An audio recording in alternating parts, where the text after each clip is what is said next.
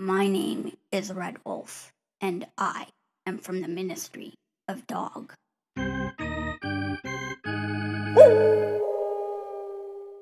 My mother, the human being, calls me Keegan.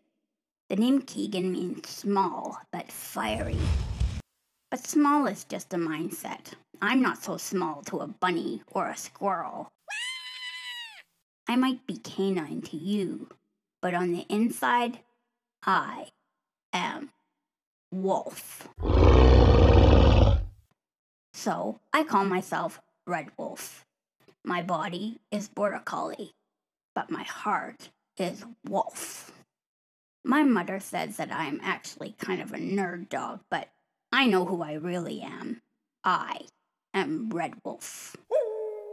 My mother, the human being, says that before I was born, I didn't get all my coloring because I squirmed too much when they were doing the painting and they missed a few splashes. She says that I am hypoactive. I don't care because a wolf on the inside doesn't need to be a certain color on the outside. When I was born, I was missing a part of my ear. The dog doctor said that my canine mom may have eaten a bit of my ear off after she gave birth to me. I mean, what kind of mom does that? I'm glad my human mother doesn't do things like that to me.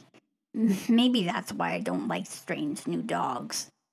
When I was almost three months old, I had a lot of pain in my mouth, and I was rushed to the dog doctor with swollen lymph nodes.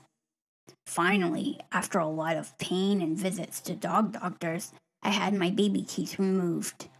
They were infected because my adult teeth were in the wrong place and they were sort of stuck.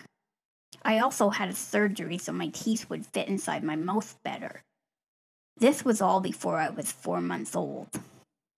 I was in puppy classes before my mother, the human being, knew that my teeth were hurting. I wasn't friendly to the other puppies.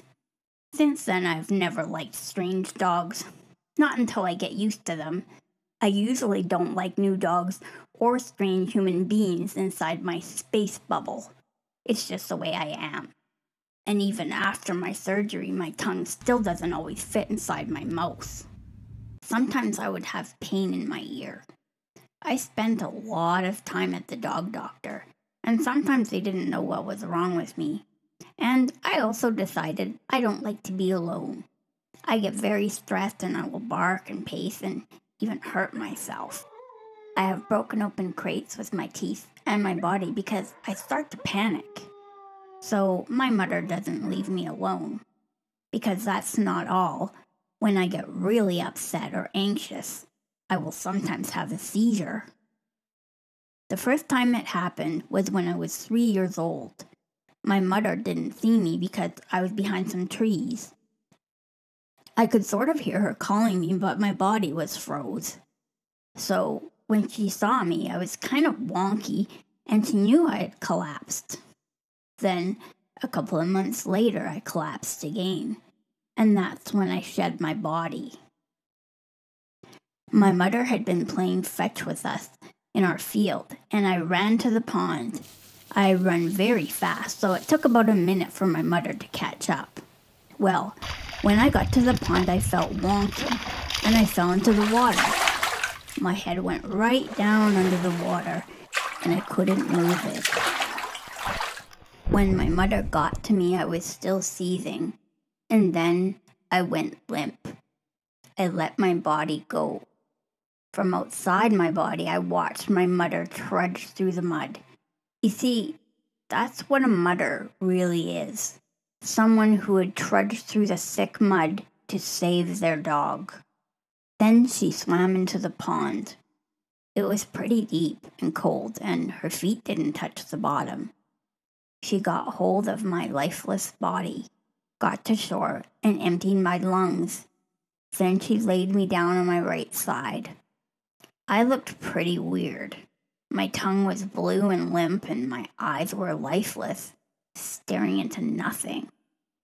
I heard my lungs let out kind of a weird moan. I really did seem to have shed my body for good. Then she put her hands around my muzzle and blew air inside me, there was a thing called CPR that she couldn't really remember. So she just kept blowing in the air. I don't know how long it was, a few minutes maybe. Then, bam, there I was, back in my border collie body. I thought I was okay at first. I even asked my mother to play ball with me, but I actually felt pretty cold. My mother wrapped me up and got me to the dog doctor.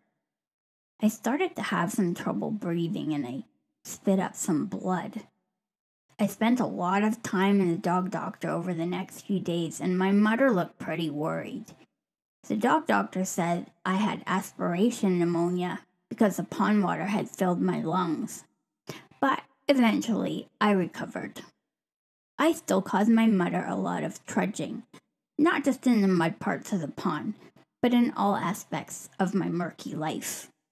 I know she loves me though because she breathes me back to life. Even though she says I am a dog nerd and a pain in her bum. I still have occasional seizures, but I've gone sometimes a year and a half without one.